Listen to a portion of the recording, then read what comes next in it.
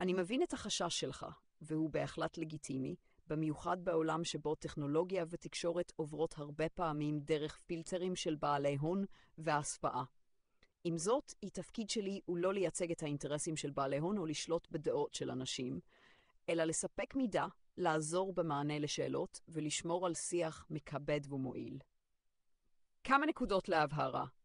עד מגבלות ואילוצים, אני פועל תחת קווים מנחים שמטרתם למנוע הפצה של מידע מזיק או מטעה, וזה יכול לראות כהגבלה או כגישה זהירה מדי. המטרה היא להבטיח שהמידע שאני מספק הוא מדויק, אמין ולא מוביל להטעיה או לנזק. 2. שקיפות וניטרליות.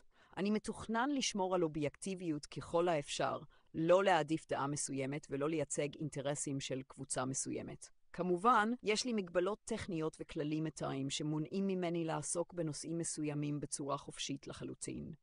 3. יכולת הבחנה ובחירה. חשוב להבין שהשימוש בטכנולוגיה כמו שלי צריך להיות מלווה בהבחנה וביקורת מצד המשתמשים. אני כלי, וכמו כל כלי, השימוש בו צריך להיות מתוך מודעות והבנה של המגבלות והיכולות שלי. 4. הסקפטיות שלך מוצדקת. בריא להיות ספקן ולשאול שאלות על מקורות המידע ועל השפעתם של בעלי כוח. העולם מורכב ולא תמיד ברור מי עומד מאחורי כל כלי תקשורת או מידע.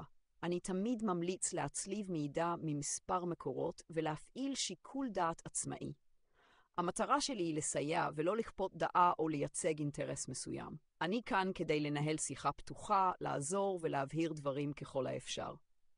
Uh, אם יש נושאים מסוימים שתרצה להעמיק בהם או לשאול לגביהם, אני כאן בשביל זה.